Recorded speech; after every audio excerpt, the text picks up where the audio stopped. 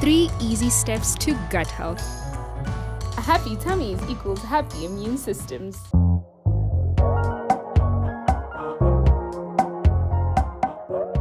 I am at South Africa's edgiest design and decor show.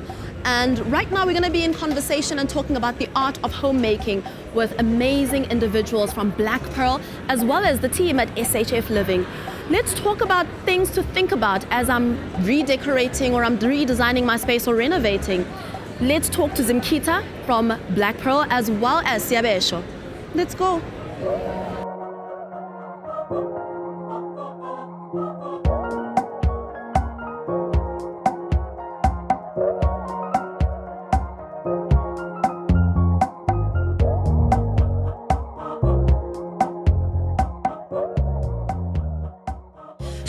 Welcome everyone to the Art of Homemaking, a conversation curated for Design Joburg in collaboration with Art of Superwoman.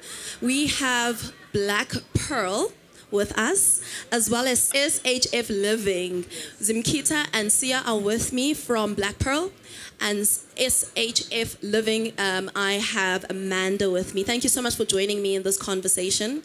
Um, we're going to delve into the art of homemaking, and I want to start with Zimkita, right? Woman to woman, black woman to black woman. I think, you know, some of us are the first of our generation to break into spaces such as this and to curate for spaces and for platforms um, that are at this magnitude, especially at Design Joburg and also um, on platforms such as SHF Living, right? Um, how are we in our generation kind of redefining what homemaking is? And how we create our own spaces and kind of curate with the idea of where we come from um, and not um, an influence um, that is telling us how to do things within our own spaces. Well, I think just in general, the way we are living our lives is no longer in a cookie cutter way. And we, because we're so much more exposed in terms of lifestyle, color, we travel more. When you think about our parents, it's almost like, okay, ndakhulule mthatha ifurniture ndithenge beds or you know the bears shop and kuphela lapho my neighbors have the same thing my grandma had the same thing. Whereas now we're so much more exposed to like a diverse and like you know a plethora of like choice. And even in our styling now i've discovered oh wait a minute actually you know my style is simple. Whereas i have my friend here who has a more eccentric style. Like we don't even have to look the same. we love each other dearly, but you know we show ourselves in different ways, and we do that in our homes as well. And I find that because now there's choice, you can actually choose. Actually, you know what? Orange is in season, but I don't like orange. I prefer grey, and then you go for the grey. Um, Amanda. How important was it then to have this represented within the spaces such as SHF Living? So we as SHF, so previously known as SHF, and we recently rebranded to SHF Living, everyone, SHF Living. Um, so for us, we, we had a, um, a relook at everything that we've been doing over the years, and we thought, well, we really need to appeal to a younger market. We need to appeal to our people and we needed to change the narrative of really what was SHF. So we had a lot of designers whom we, you know, we looked at and had conversations with. And out of everybody, we honestly thought that Blaque Pearl was the perfect duo to represent our brand and everything that we stand for. Um, guys, these two are accountants, by the way. and I loved their story. I love how they have, you know, founded their business on friendship and they just took it to new heights. They they they design um, style represents our furniture so well in in many ways that we could have never ever thought. So that's actually why we came and thought, oh, these are the people we want to work with, and this is a partnership that you can call a marriage. We'll be married to these two. I think just to add to that, uh, we came into the industry where it was very tough and we didn't know what to do, when to start. And SHF was like part of those places where we used to roam around when we used to enjoy furniture pieces. And we've been collaborating for quite some time. I mean, in 2016, uh, we did a man cave and it had mostly SHF's furniture. And I think now it's migrating into a space where it's all about the living and our lifestyle and bringing that art more into SHF. we are happy to do that. And also just coming full circle with SHF enough. Like you were saying, when we had expos where no furniture, no real manufacturing situation happening, and we're just like, listen, uh, we'll bring your furniture back, in a good place. We just need to look good at this expo. And now here we are bringing our own pieces, you know, to work with their pieces. So I think that's also remarkable for us as a company just to show our growth. And thank you to the support of SHF for allowing us to grow and allowing us to be there. And so stepping into, um, you know, creating pieces and also collaborating now in marriage with platforms like SHF Living, how important then is the freedom of expression within our generation and that shift that we're having now where our expression is different? We are not exactly the doily generation, but no, some of the elements and that nostalgia are still showing up in a lot of how we're creating. Yes, I think uh, what we've mostly tried to do, I think, as an interior designers and all designers, uh, we try to make space tell a story more than anything. Um, it's not just a furniture piece. It's not just a piece of artwork that you get anywhere. Like there's detail that goes into the craftsmanship of, of items and things, just to make sure that it allows us to express ourselves in the spaces that we are. So back in the days, Mama, you can't sit on that chair because there's new technology now that allows your formal space to be a space where children can jump on, on furniture. And it's our narrative to basically drive that and make sure that make your spaces speak to who you are.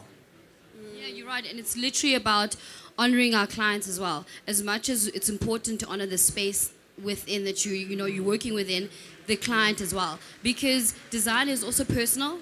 You know, you're going to someone's like bedroom, you're going to their living space, and just honoring that and honoring and respecting their energy, their space, and what they have called you to do. Because it's so easy to be like, you terracotta imbi, but your client is like, but I love terracotta. So then it's up to us to find a way to make terracotta work and make terracotta beautiful. I'm so offended. I love terracotta. it was just an example because that we pot is terracotta. so the most important thing which I would like to share with you guys is that SHF Living has got 93% locally manufactured products. 93%. And we used to be lower than that, and the likes of Blaque Pearl inspired us to make sure that we support the local manufacturers, number one.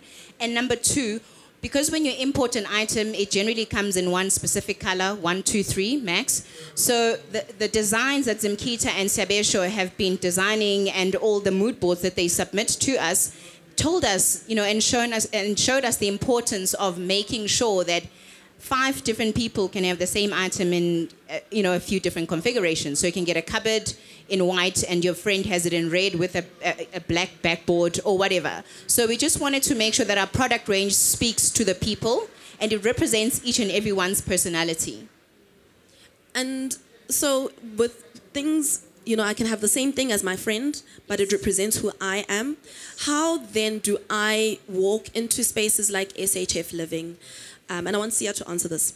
And pick pieces that represent who I am without leaving me behind as a homemaker.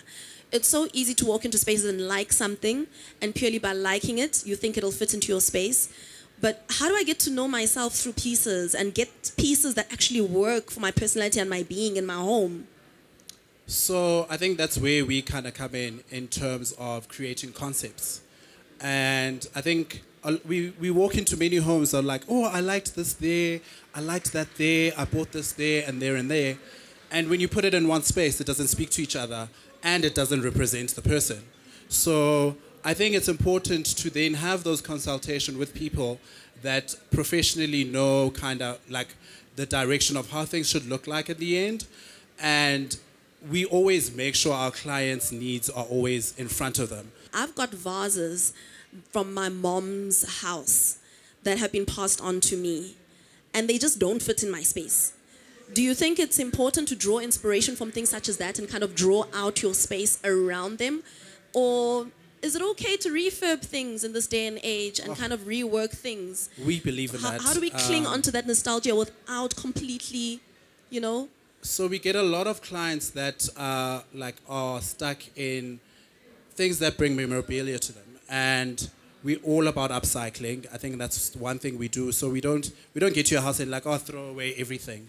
So we literally refurb in terms of like your, if it's a coffee table that your mom gave you, and obviously it's in mahogany or dark mahogany. I mean, Definitely that style is not. You guys have a problem with terracotta and mahogany, hey? no, like All the things that are very present in my Those are house. just like prime examples. So what we like doing is actually taking that table, tearing it down in terms of its color and finish, and then we've got monocoats that we do these days. That you know, it's a stain that you put it, you you put on the table. It brings it back to this era, but it's still your mom's piece. So we like doing things like that. Uh, if it's an old couch, we refurbish it. We can reamp it in terms of like the look and feel. Some things are beautiful in their old nature, but if they can come back to in this in this time, then we can bring it back.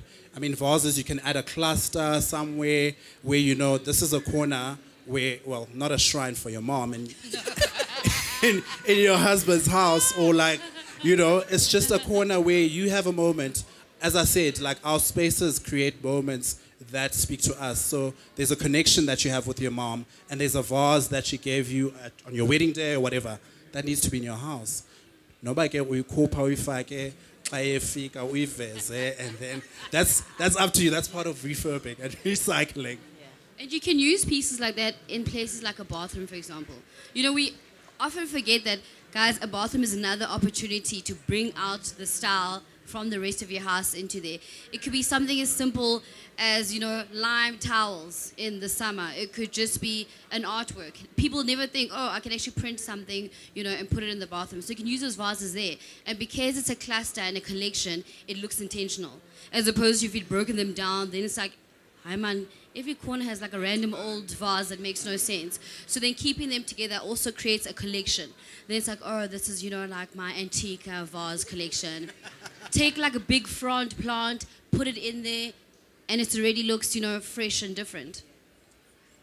Are there design rules that are just never meant to be broken in, in homemaking? Do you know what? For me, I don't like, um, which is ironic because I'm quite analytical um, by nature. I do like method and rules, but in um, the creative space, I don't like saying rules because it just sounds so oppressive and so limiting. Whereas, you know, with creativity, you should just like literally open your mind, and if it works for you, it works for you. Even if I don't like something, that doesn't matter. For as long as you think it's beautiful and it works for you in the intention that you intended it to, then that's fantastic. That's designed for you. So I don't really like to think about design.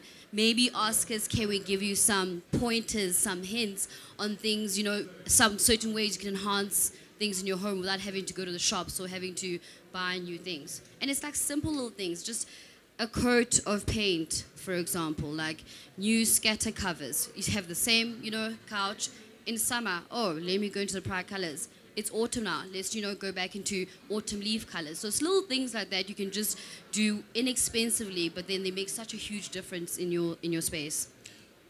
weirdly, um, I was actually uh, speaking to the, one of the artists, well, the only artist that's on our stand right now, Tokozani, this week. And I was saying, yo, I don't have any more walls because I really love his art. And he's like, hi, Sia, just move things around, put this there and there. So I don't think it's there's a rule, but I think naturally you then like change your space to then make it feel different in certain seasons.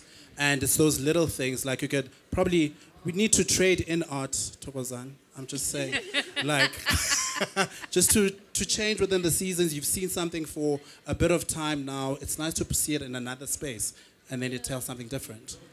And just on that topic about moving things around and readjusting spaces, um, I think a lot of people are going through evolutions of, you know, you starting a family or you've just moved into your first space or your first home, and then you transition to starting a family, and then you transition to grown children, then you transition to, you know, empty nesting. Is it expensive to evolve, you know, through these? Um, through these phases of life. And I think there's this idea that luxury, creating luxury within my spaces, creating pockets of luxury is such an expensive thing. And, you know, I'm stuck in the space that I have. And then I'm just adding here things here and there. And I really am struggling to evolve my space. What's the most cost effective way of doing it? You know, I always um, say, especially if you're limited in terms of budget, invest like wisely in the big pieces. buy quality big pieces. Your sofa, quality. You know, there's some things where, fine, go spend 200 bucks on a cushion, but don't spend 5,000 rand on a sofa. Like, invest in the big pieces. I hope my husband's listening. Where is he? Where is he? No, you already are said that he's going to 5,000 take two pieces from us, so they will last. They will definitely last. So, you know, if you do that, if you invest in the big pieces, then when you move, like we said earlier, you can reupholster that. Now, you know, you have little kids. Let's maybe look into hardier fabric.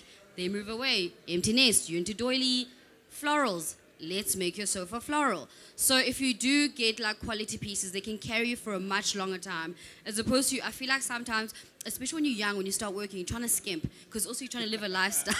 you're like, I've got money now. I want to be out here, but I also want a pretty place. And you try, and then you skimp on things like that. Don't do it. I'd prefer not to have something, and then just wait a while to have, you know, a quality, a quality piece. Like there's a sofa that I bought ages ago. Um, it's probably like 10 to 15 years when I was still um, in the first year I was working actually. It's at home right now in a different fabric. The frame is still there. It's still like living and carrying people all this time. Friendships have gone and passed and like it's gone through stages, but that sofa is still there. I think what's nice about what you're saying, it ties into what you said you you were talking about earlier on about materials and how we have new materials that are able to hold things like animals and children and that, you know, that can last longer and you can clean them easier these days. It's not the same as what we had before, right? Um, like when I was starting to have, chil- when we were starting out having children, I couldn't buy the kind of things that I, I can buy now Yeah. because materials weren't the same. Yes. And you can be smart as well. Um, nowadays, you get outdoor velvet fabric. So that you can think about that if you've got dogs and kids. Because that's also like hardier and it's easier to clean. So that's why we're saying, you know, consult, you know, an expert or professional because then that's the kind of advice that you're going to receive, you know. So we can tell you, you know, you don't have to give up the lushness. Let's just think about it differently. Use a different type of fabric. And because we have that knowledge, we can then advise you to be like, okay, have you thought about these options? And for some reason, we only think that like cream tweed is like the lick shot, like luxe look, and it's it's not it. and it's also about how you layer a space. What's that? Cream? Cream lick shot luxe tweed fabric. You know that. It's the next big thing. Is that what you're saying? no, everyone thinks that like looks is. super expensive and it's the end all and be all. I'm just saying there are different ways of creating a, a stylish look without necessarily having to break your bank, and there are like a million options out there. I think what I do want to say is that I'm sure now we can all see how important it is to get an interior designer, right, guys? Mm-hmm. I'm so happy to see the iconic Donald Ngumalo amongst all of us. Hello, Donald. Um, guys, I just want to say if there's anyone in here who is a, an aspiring designer, there is a future.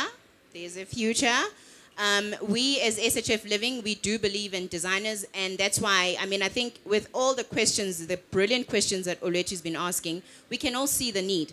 And if you speak to the likes of Blaque Pearl, then you'll know that it doesn't have to break the bank. And you can do your house in stages. So you can do your lounge first, you can do your living, your sorry, your, your dining room in stages that you can afford. But do not go and buy a couch for five thousand. I mean, uh, just to add on to what Amanda's saying, like we've been growing with our clients in terms of their spaces. Like, you know, some people don't have the knowledge of how things cost, and they're like, "Oh, no, I can," and we're like, "No, invest in this because it's something that you will appreciate." I think also as Black people, we think that, oh, like spending so much money on yourself is not uh, an important thing. But I think our homes where we stay, I mean, you live on that couch every day, but you want to spend 5,000 Rand, but you've got a Louis Vuitton bag or like a brand bag that's like whatever. Yet your couch is breaking th- like the next moment. I think we just also need sometimes to prioritize thing, things and I think it's just an education point that you can live in luxury in your own space, not at a breaking bank budget. And I think that's one thing that um, lockdown and COVID um, taught us, right? The homemaking is so important no matter who you are. Curating your space is so important. Creating pockets of luxury within your space. I'm not sure if Vika's here, but she is huge on creating pockets of luxury within Yes, your is. spaces, and you don't have to break the bank in doing so. And you know, it's all about creating things in collaboration with others. What we don't know what we don't know. I don't know half the things that they talk to me about sometimes, but I have to inquire. I have to ask more questions. I have to ask about how it's working with me, how we can collaborate in ensuring that my space is me and is my children and works for me, right? And this is why I appreciate spaces like SHF Living and I appreciate Blaque Pearl and that you make that happen for me, you know, for, for me and anybody else that needs these services and also needs these spaces in their lives. Something that I also want to talk about is the importance of art within our spaces and how to put art in our spaces, how to resonate art with our space. I've made mistakes of just buying art I love and just placing it on my space. And you either find two things, which we discussed in an earlier conversation the art overwhelms the space, or the space just does not speak to the art. How do I ensure that as I'm investing in art and also preserving art, the preservation of art is also important for our generation? How do I ensure that the two work together and work with my design team in ensuring that translates well? So you can do it either way. You can use the art piece that you already have as your muse for the space, or once you've done, see what the space feels like, and then when you find art that speaks to you, and fit that into your living space.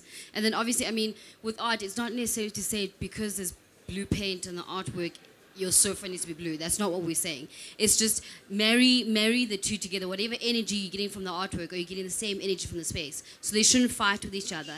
And also, what space are you putting in? What dimension is your artwork? So I think a lot of us forget that.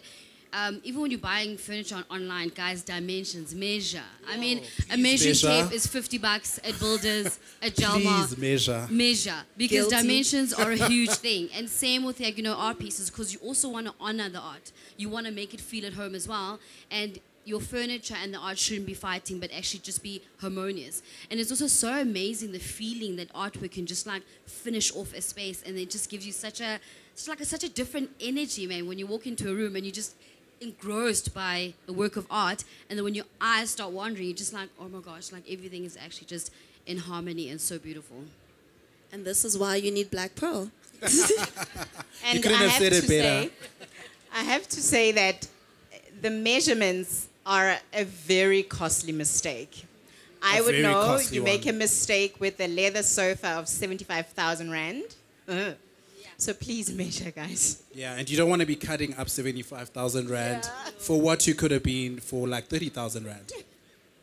True, very true. Thank you so much for this conversation. I want to pull in the audience. If you have any questions, please do raise your hand. I will swing a microphone over to you. Um, I'm, s- I'm an interior designer. Well, I work with my sister. I'm a stylist. She's an, an interior designer. Please put the mic closer to you. Um, the one thing that we've realized is we've had people, we've worked with people, with people of the other race a lot. We've brought them into our work and they've assisted. But we've also approached people of the same color as us to work with us and to guide us and to, but we haven't had positive responses. What is, what are you guys working on? And since you got the opportunity with SHF to work with them, are you also opening doors for other upcoming artists also work with you? Um, so that's that's the journey that an interior designer like kind of goes through. Um, it's not an easy one. Uh, I think we have been in the past, and I think it's very important to to to give opportunity to our fellow brothers and sisters in the spaces in the manufacturing space and all of that stuff. And it's a grooming thing and also a lack of privilege thing. Um, I think we are pretty much privileged enough to give support to them. And it's important that you also upskill them in terms of the product that they finish. Because at the end of the day, as you said, the counterparties still use our people to basically put that product together. Um, it's just a matter of management. It's a journey that one goes through as an interior designer until you find your own feet in terms of finding uh, the appropriate supplier. But also, in um, I'm very big on like pulling each other up. We didn't get here by ourselves. We've had, you know, we've had our mentors, we've had people who've, you know, guided us as well and shown us and, you know, opened doors for us and just in terms of, you know, creating networks that have helped us grow our business. So you're more than welcome to contact us if you want someone to talk to. I, like, I personally do not mind, you know, speaking to you. Maybe you just want to vent. You want advice on, okay, if I have an issue with a supplier or if I have an issue with a client, how can I help you resolve? Like, how do you, if you want help with costing, if you want to help with, um, you know, how do I bring my product out? What other opportunities can I think of maybe where you can then go put yourself out there, you know, give us Support a us ring. Uh, yeah, I don't mind doing that at all. And in fact, it actually it, it just makes me feel good to be able to help someone else and pay it forward in a sense. Because I'd be lying if I said to you, "Oh, we just woke up, we you know quit our Excel spreadsheeting jobs, and now we're here." No, it did not happen like that at all. So I strongly believe in the each one, teach one. So that's why I, I love Blaque Pearl once again. But I also just want to say to everybody sitting here who's not a designer that it may sound wrong, and I, if, if I offend anyone, I apologize in advance. We black people are the market. We are the market at all these luxury stores. I don't understand why our brothers and sisters who are in design, making art, are struggling. I really don't. Please, we need to fix it, all of us. I was stuck on the 5,000 rents joke. And I wanted to find out, you know, as we're speaking about the art of homemaking, how best then do you come on board to help clients, you know, that cannot afford what you call, you know, quality, you know, uh, because I don't want us to remain on the 5,000 rent. So if I say my piece is, uh, is quality, is it based on the amount or is it based on, you know, I, I- I'm, I'm stuck there. What is it based on? And how do you help clients to then get to, the, to, to get pieces that they can call quality, but then yet it fits within their budget? Thank you. I also wanted to just chip in on that. In, you know, one thing that, and, and you will, you know, link this into into whatever you're going to say. One thing that I had to learn and appreciate is what goes into the making of the products. I did not appreciate that when I was starting to create my home and everything. You know, you're excited. You have a 20,000 rand budget to create your lounge, you know. So 5,000 goes to the couch, 2,000 goes to the coffee table, but you don't realize what goes into the making of those items and the quality that is there is not the same as something that's going to last me until my children are even three years old because they will climb on it and it will break in a year. So it's appreciating the materials that go into the making Yeah, of so each it's- product. I was about to say, and in the same way you get different types of wood. You get pine, you get oak. Price is very different. They can build the same thing, but it's not going to last The same. the same. It's not going to have the same finish.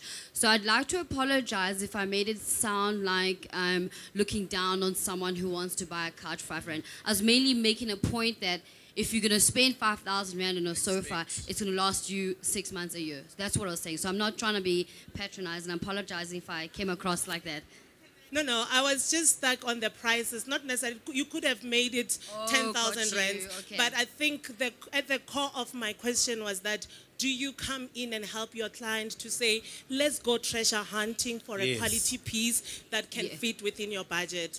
So I just took it from there, but not necessarily that I'm stuck on the Oh, 5,000 rands. okay, I no, hear you. No, no, we do. So what we love to do is also make um, our services accessible to everyone. And I know there's always been a notion. Well, Sebastian and I have always found like when we meet clients, people think for some You're so reason I need half a million rand in order to have interior design services, and it's not like that at all. It's just what is your budget, and realistically too. If you say to me, I want to do an outdoor space and I've saved ten thousand rand, I'm going to be like, I'm sorry, I can't help you. But if you want to do a bathroom, wallpaper, finishes, we can do that. Um, hi guys. So I'm a big believer in interior designers and, and decorators because I'm not the most creative person. But the question I have is when selecting an interior designing company, so for example, you guys, how important is it to, or when you, yeah, do you select it based on, do, do we find companies that are, must I find a company based on my style, or do you guys um, cater to all styles. I don't know if that makes sense, or is there a specific style that you guys? Um, So I think what's important in finding uh, an interior designer is a relationship, because you're going to be in a relationship with that person for a long period. And also, I think people's energies attract one another. And that's important in your selection of that is that do I, like, is that my style? And also, most of our work is out there. Uh, our, our, our skill set is understanding the client more. So we are here for you as any interior designer. Some may drive their own narrative in like a certain look and feel, and it's up to you whether you uh, you, you you go according to that or you find one that's going to be like who's Tsikakazi or who's who's this person? What does it mean to them? And all of that stuff. So it's very important to have a nice relationship with the person that who's going to be creating your home, something that you go home to every day, because it, it goes in in in everything, like the, from the process of you guys meeting, from the concept phase into the installation. And energy is everything because we've had clients also that sometimes their energy is just a bit weird and things on that installation or like Listen, that, the truck will break down that on that day. will break down and the client before, will be but that day swearing at will. you or like the the sofa would come in and as they sit on it or whatever something spills like something so it's always great to find the right energy in terms of your space because that's going to be your space So to answer your question, we specifically are more style versatile. Yeah. So we'll get our brief from the client, you will drive that, but then again we do bring our own personality and flair. As you can see, we're different, but we're lovely. How do you manage to bring your style together as a team? In yes, when you're working in someone else's space. So I actually have two questions, and the second one is because the nostalgia out there is that interior design services are expensive. So how have you put yourselves out there in a way that people can actually understand that anybody can, not necessarily every, anybody, but those who wish to make use of interior designers services actually can get access to you without breaking the bank. I just Um, want to say, sorry, Sebastian, if you love something, you'll pay for it. That's all I'm saying. I also think that a lot of the time, the accessibility to the knowledge that we have and the knowledge that we're sharing here today um, has been so inaccessible to so many of us. And we have also not been curious enough or scared to ask the relevant questions because these spaces were only reserved for few. So when we say, you know, h- th- th- it's expensive to get an interior designer, it's only because I've been scared to ask you what your prices are. Because I've only seen people that live affluent lives having interior designers or having um, certain services. So it's so important for us to ask the uncomfortable questions or to ask and be curious about the things that we want in our spaces. And again, I reference Vika quite a lot, but Vika will say, when you want something, be ask the questions. Ask the questions. Ask the questions. When you want luxurious spaces in your space, it's not expensive.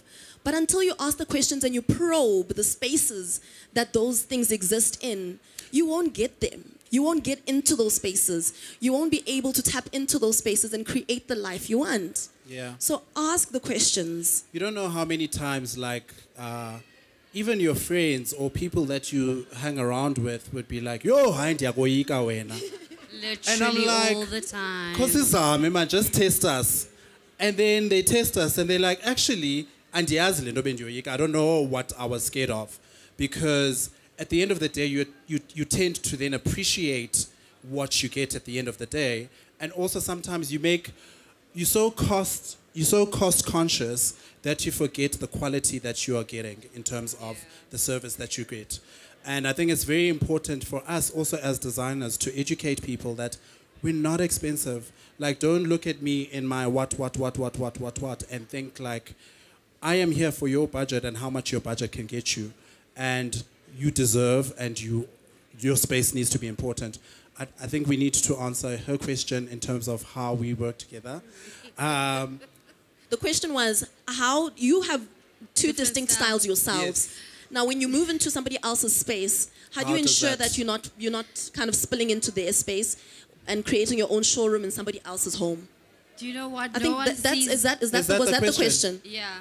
It's a. I think it's also about Yeah. like our styles. Yeah, Yeah. I think it is it- really okay, about yeah. our styles. So you don't see the boxing and fighting that happens before you see that beautiful mood board. no, but like joking, I mean, we do have um, different styles, but I think because the foundation of our partnership is also trust and love, because we were friends for a long time before we started our company together. So I love that how then it spills into our working relationship because even when we do disagree and might get annoyed, I'm listening because I respect him and I respect what he thinks about something and I my point is to understand. As opposed to no but it should really be my way all the time. So that really does help. And i think it's i actually don't even know how to quantify or explain how we merge our styles together. It almost now it just it just happens. Like he'll come up with an idea or he'll be like oh let's use this new orange fabric. And i'll be like i love the texture. How about we tone it down a bit for this specific look? So I think the main the, the main thing that drives that is respect for each other, respect of the product that you are we give to people, and respect for each other as well more than anything and the business. So in in certain spaces you know when okay uzimkhitha uphethe ngoku like you need to fall back. I'm like, And, friends like, as a bachelor. You, you, you can is also see that she's not gonna budge on this one. And then I'll just like throw something else there in the end. It's like, oh, it actually works. This is how I know that. Like she, you know, she had thought it through this way and this way, and then I'll just throw it in like at the end, and she's like, okay, friend, uh, it actually works. So it's just giving and knowing each other. I think more than anything, it's knowing each other and understanding who we are and what we want to trying to drive, and yeah. Yeah, but like you were saying, you also read your client. So maybe if someone's more um, towards like soft, um, luxe, feminine, you know, like styling, then I might. I don't want to use it dominate because we don't dominate each other, but They maybe may relate might- to you Yes, more. then I'll then take more focus on that project. And like I was saying, if there's like a bachelor, he wants dark-sided pieces, and I'm like, Siyabesho, I'm his dark-sided pieces because but I'm sure sometimes you can see in like the total space where like certain things come from and it, it, it kind of balances. So there would be like that softness and a balance of like, okay, there's like a rustic side or just like a, you know, And that's why we've element. enjoyed, sorry, working with SHF and using their pieces because they actually like um, speak to both of us. yeah. And that's how we actually decided to go with them because they stand for everything that we stand for. So respect is a big part of our business. And I looked at the, the way they've been relating over the years, ever since I've known them, and I just knew that we are right at home with these two. They're joined at the hip, and you can't talk about Sia to Zimkita because, I mean, she'll be in the car on Bluetooth, so hello. So uh, half the time, like, oh, by the way, Zimkita's on the other side, so don't say anything or Don't like. gossip, don't gossip, don't gossip. Thank you so much. We've completely run out of time and we've actually run over time. But thank you so much for this amazing conversation. We could go on and on and on. I think we're all curious.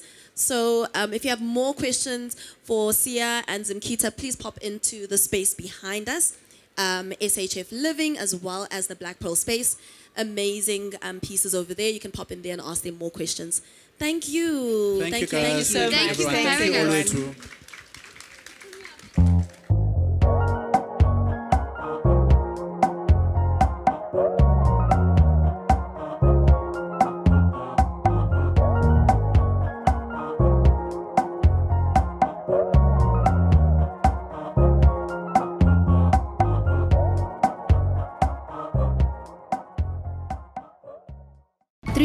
steps to gut health. A happy tummy equals happy immune systems.